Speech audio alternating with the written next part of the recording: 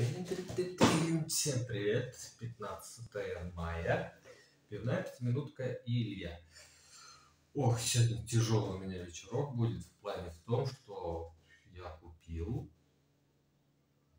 всю продукцию, да, практически получается. Ну, кроме самых таких попсовых, э, как это, экземпляров, которые продаются даже у нас в городе от Бал... Ну, это уже больше Балтика, чем именно Южная Заря, короче, завода Южная Заря, который варит Дон. Так что сегодня вот я даже приобрел такой бокальчик. Дон 40 лет, Балтика Ростов. Юбилейный бокалчик. В принципе, для дегустации он вполне подходит, так что буду дегустировать из него. Начну я. Ну, короче, сегодня много будет сортов, вот так вот. Э, ну, что жаловаться. Будем пить потихоньку, дегустировать. Начну я Пу-пу-пу с Дон Светлая. Нальем. И посмотрим, что же это за Дон Светлая. За что его любят, пьют и уважают. Опять же не показал, да? Так вот, этикетка, если будет видно. Ну, плюс-минус выглядит белая этикеточка. Пробочка фирменная. Южная Заря, ну, коллекционеры знают, как она выглядит. По-моему, того года она или из того. Ну, более-менее новая, короче. Корона пробка. У меня в коллекции, может быть, даже и нету ее. Не знаю. В общем, что у нас на сайте пишут? Дон светлый – это легкий светлый лагерь, сваренный по классическому рецепту, сочетай, рецепту, сочетающий в себе традиции пивоварения исключительно натуральные ингредиенты Вкус сорта светлый, чистый и полный солодовыми нотами и приятной хмелевой горечью позволяет насладиться яркими, яркими минутами отдыха и утолить жажду даже в самый жаркий южный день. Ну вот видите, о чем я в принципе вчера и говорил. Что ты там делаешь? Пробуя.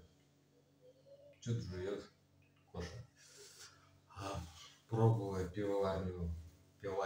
Бавария. Сейчас, секунду, что-то там нашел. Ну-ка, брыси туда. Ребрышки нашел сильные. Свитус. Пивоварный дом Бавария, да, то, что легкое, светлое пивко, вообще в жару закатит. Главное, чтобы ровненькое, без косяков было, без дефектов. Вот оно такое и было. Баварию рекомендую. Переходим заводу Южная Заря. Что же они нам тут пишут, обещают? Пиво светлое, пастеризованное, ну фильтрованное, да, то есть. Так, состав вода питьевая, очищенная солод ячменный светлый, ячмень пивоваренный, хмелепродукты, солодовый экстракт. Так, ячмень пивоваренный, смотрите, Тут мы уже опускаемся до несоложонки.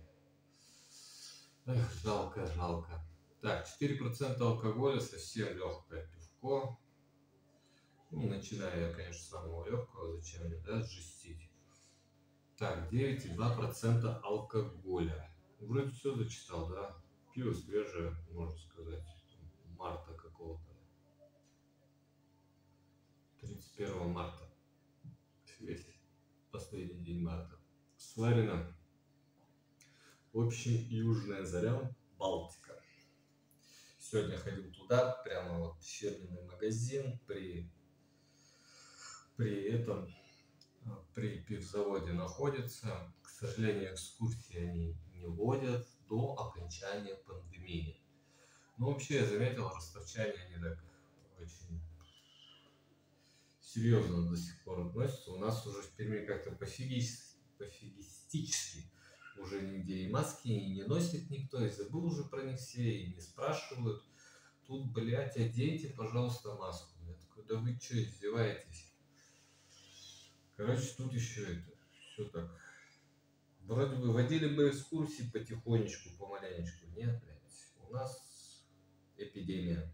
Нифига не пустим, к сожалению, может еще как-нибудь приеду и схожу обязательно в музей пива Южной Зари. Ну, такой не очень приятный аромат, солодовый, не очень приятный солод. А, ну это, наверное, ячмень, да? Несоложонка отдает такие оттенки аромата. Вот. Ну, по крайней мере, сфоткался с этим, с лейбом Южная заря. Вот. Сейчас фотка. Тут ставится. Прям шучу, ничего там не ставится, потому что я не монтирую. Ну, 1 апреля побаловался, помонтировал. Так что фотка останется при мне, не покажу. Все. Давайте пробовать. Что-то у меня тут теща заходила, что-то, видать, надо. Ну, пиво на цвет, ну, солдовая водичка, очень прозрачная, слегка желтоватая. Но я думаю, на вкус будет. Ну, главное, чтобы ровненько было. Я все понимаю. Юг, утоление жажды, все дела. Холодненькое пивко, залпанул, покайфовал.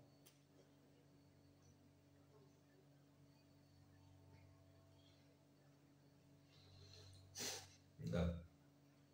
В принципе, на глотке это было неплохо, но не соложонка, она на послевкусии дает неприятный оттенок абсолютно.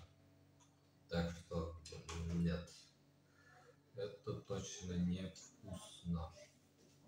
По крайней мере для меня. Вот как-то так.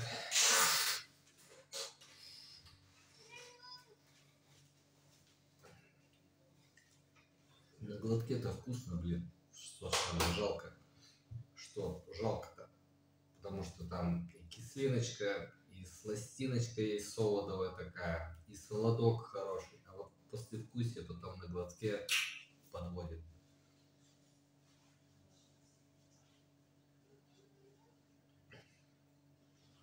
Ну, это совсем надо уже, знаете, так докапываться, конечно, чтобы чувствовать эту.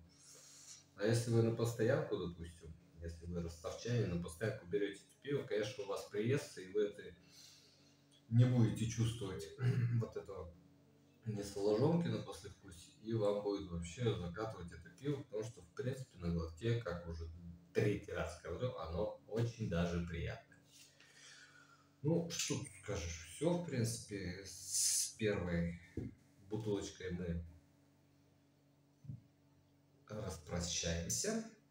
Прощаться не буду, потому что сегодня еще будет раз, два, три, четыре, пять, шесть, еще семь экземпляров будет от Балтики.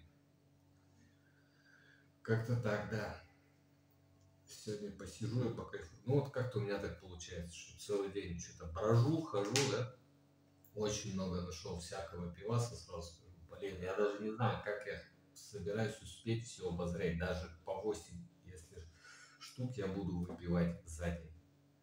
Потому что просто заходишь в одну разливайку, там одна какая-то сочинская крафтовая пивальня, заходишь в другую разливайку, там какой-то другой вообще город, какая-то станица Краснодарского края, у тебя просто по 8 сортов причем, да, у тебя просто голова такая, бам, разрывается, ты такой, блядь, а что делать вообще? Как это? Хотел все попробовать, а в итоге вообще, бля, может быть, как-то сделаю усилия, и то, что не успею попробовать, по крайней мере, куплю, и уже в Перми начну это все дело пробовать. Как я это увезу, только вот вопрос.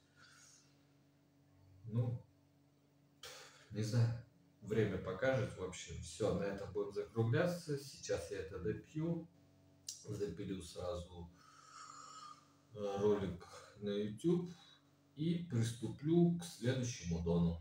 Все, давайте ожидайте, но все равно берегите себя, не болейте, будьте здоровы, пробуйте новые стили пива. Светлого энергия такси пробовали, там ничего интересного в принципе нету. Пробуйте, что еще не пробовали. Все. Скоро вернусь. Давайте.